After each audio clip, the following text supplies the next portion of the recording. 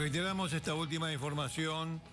La muerte, el asesinato de un comisario en Moreno, asesinado a balazos, se llamaba Leonardo Carlos Valdés, tenía 46 años, murió en el hospital de Moreno cuando eh, fue trasladado, llegó y murió allí, víctima de una herida de bala en el pecho, eh, disparada por delincuentes que dejaron abandonado en el lugar un auto robado.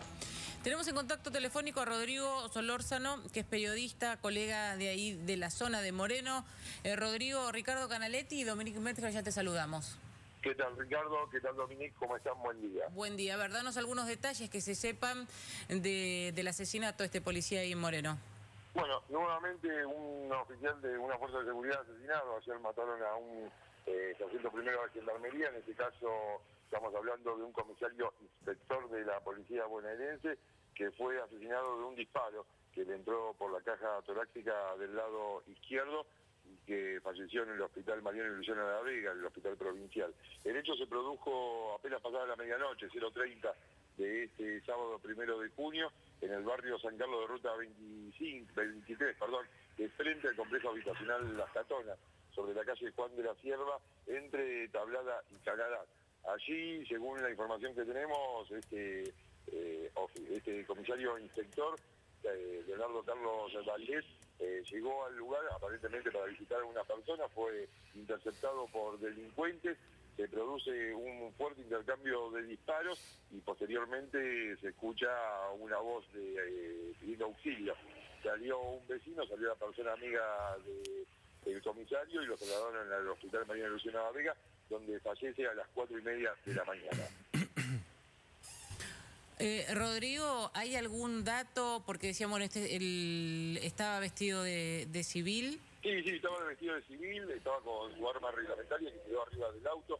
Lo único que habría faltado, por lo menos es lo que eh, nos confirman las fuentes a esta hora de la mañana, es el teléfono celular. El objetivo del atraco habría sido el auto en el que se movilizaba. Ah, el auto. Exactamente. Ah, ah está bien. No, eh, claro, porque no, quedaba este, la incertidumbre acerca de las razones y que, qué tipo de asalto fue, si le que querían sus efectos personales, si querían robar el auto, bueno, no, nos confirmás que eh, en principio, en principio sería el auto. Es esa. La principal hipótesis es esa. Ahí está, ahí está. Ahí es más, quedó abandonado en el lugar un Volkswagen Bora en el que se movilizaban los delincuentes, un Volkswagen Bora color negro, que había sido robado el ayer, el, ah, ayer, viernes eh, en, jurisdicción de la comisaría de San Martín. ¿Y lo dejaron ahí? ¿Cómo? ¿Lo, abandonaron ese auto robado, lo dejaron ahí? Sí, porque quedó con varios impactos de bala y evidentemente iba a ser rápidamente identificado. Eh, lo que sí, digamos, llamó la atención a los investigadores, la rapidez, porque tenía una chapa patente colocada, no tenía impedimento para circular, pero cuando realizan el grabado de cristales ven que la patente del vehículo era otra. Cuando no coincidía. la información, salta que había sido robado. Claro, no, no coincidía. Decime una cosa, hubo entonces tiroteo, el comisario se llegó a defender. Exactamente, la pistola Versa, que la, Versa Thunder que tenía el comisario quedó con el cargador vacío. Ah, este, mira. Todo el cargador. Eh, eh, entonces, decime una cosa, eh, Rodrigo, ¿es posible que teniendo en cuenta la intensidad, la violencia de este enfrentamiento, alguno de los ladrones estuviese herido? Claro.